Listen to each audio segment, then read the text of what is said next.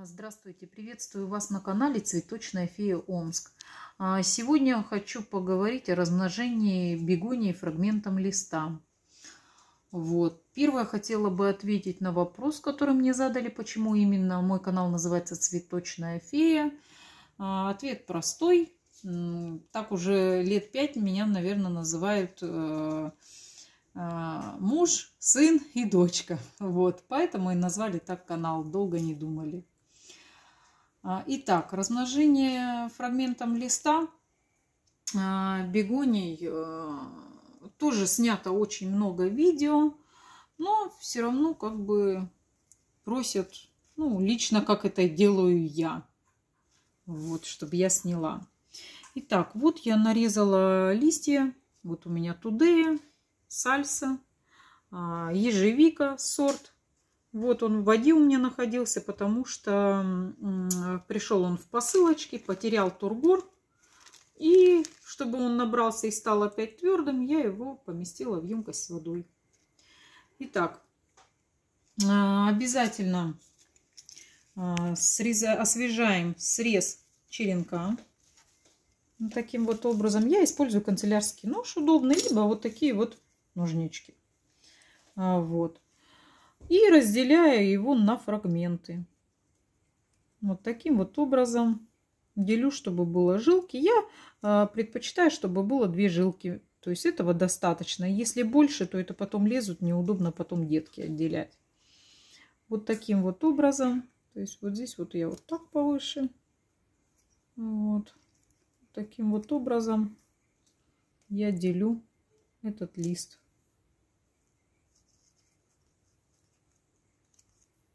Вот.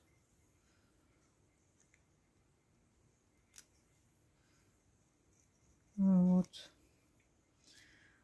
Так, ну и вот можно тут последнее, в принципе, взять. Вот так вот. И оставить чуть-чуть, чтобы на черенке оставалось. Вот. Ну, таким вот образом у нас получилось вот столько частей.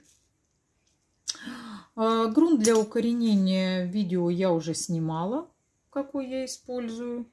А, вот.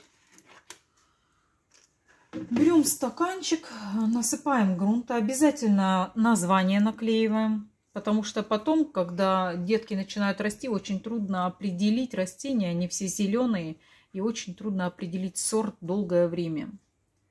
Вот таким вот образом, ничего не утрамбовывая, чтобы э, грунт был воздушным. И вот таким вот образом укореняем мы фрагменты наши. То есть вот я их вот так вот кладу под углом примерно 45 градусов. Чуть-чуть сдвигаю на них грунт. Емкости а, я использую вот такие вот ящики. Мне очень понравилось использовать. А, вот как теплицы. Вот таким вот образом помещаем мы а, в теплицу наши фрагменты. Вот. Ну, в принципе, вот здесь уже есть у нас готовые, которые я уже нарезала и поставила. Вот. То есть вот так вот это все выглядит. Эти я нарезала вчера. Вот, то есть здесь уже появился у нас конденсат. Грунт на влагоемкость я проверила. Вот. А, после этого, когда мы все составили, мы закрываем ящик, ставим его под свет и про ящик забываем. Изредка можно, в принципе, дня через три проверить, а, если у нас э, грунт посерел, посветлел, то значит, э, ну, слишком влага ушла. И, в принципе, можно немножечко вот так вот э, добавить вот по краешочку. Прям буквально чуть-чуть добавить воды. Вот. Ну и все, в принципе, больше полива она не требует. Там э, конденсат, то есть внутренний микроклимат вот образуется. Вот, поэтому ухода, в принципе, никакого нету. После того, как я укоренила, э, все сделала, поставила ящик, то есть я ставлю и забываю про него. Вот. То есть вот так вот у меня цвету. Таким образом я укореняю э, фрагменты листа принципе, все. Трудностей здесь никаких нету. А, вот.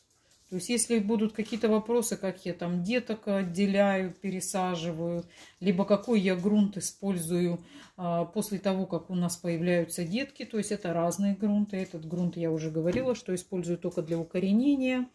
А, для рассаживания деток я использую уже совершенно другой грунт.